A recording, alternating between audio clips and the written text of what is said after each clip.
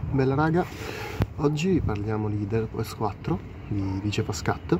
Allora, ho aspettato, cioè quest'album è uscito il 22 dicembre,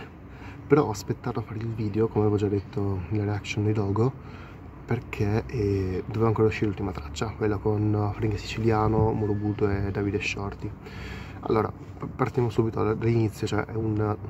un album strepitoso, cioè hip hop con entrambe le H maiuscole eh, pieno zeppo di ragazzi giovani, che è la cosa, cioè giovani o semi sconosciuti, è la cosa che mi piace perché cioè, giustamente lui dà spazio a tutti, dà, e, ehm, molto, allora, barre, tutte le barre che ci sono state nel disco sono state molto belle, alcune anche taglienti, bestemmia clean, che quelle non, me, per me non guastano mai, e vabbè, gli scratch, vabbè, sono quelli di Pascato, quindi non, cioè, non aggiungo niente perché sono, sono spa, spaziali un artista che mi ha allora degli artisti che mi hanno colpito sono stati Binario 4 molto bella la traccia e Jomi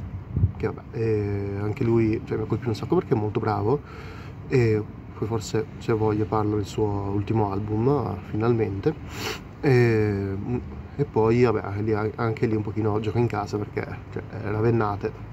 quindi ci sta che io cioè, ne parli anche bene perché poi non è della, cioè, della provincia, è della provincia, ecco.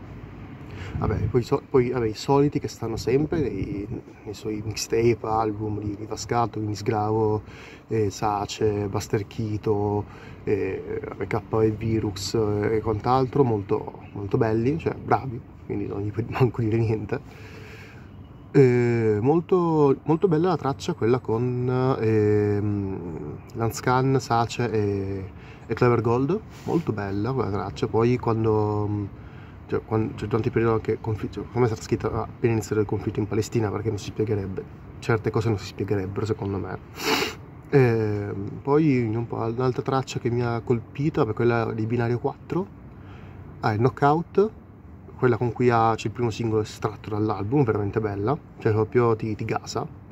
E poi, vabbè, Skillatissimi, che, vabbè, che cioè, lì è un... Cioè, e, Schillati parte 2 in pratica della Leader Post 3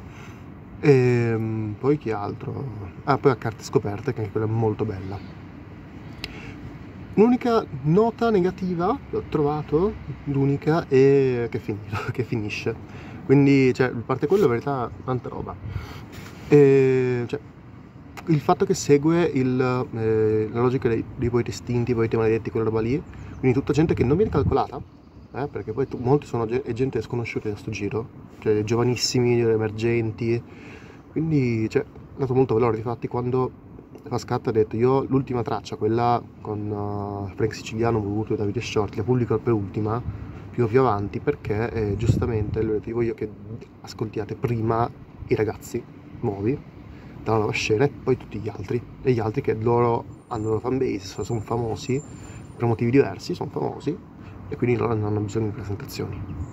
Ma poi il resto è un album molto greve, 50 minuti, quindi dura anche un po' rispetto ad altri album. Eh, non suoi, cioè i suoi durano così tanto, però tipo rispetto all'album di Club Dog che è uscito settimana scorsa, ci sta, cioè è molto più lungo.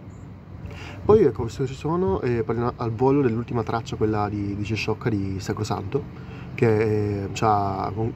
fatto la collaborazione con Clementino e Silent Bob, quindi due pelati e niente, anche quella traccia ne sa. Poi per il resto tutto in regola. Ascoltatevi Space 4.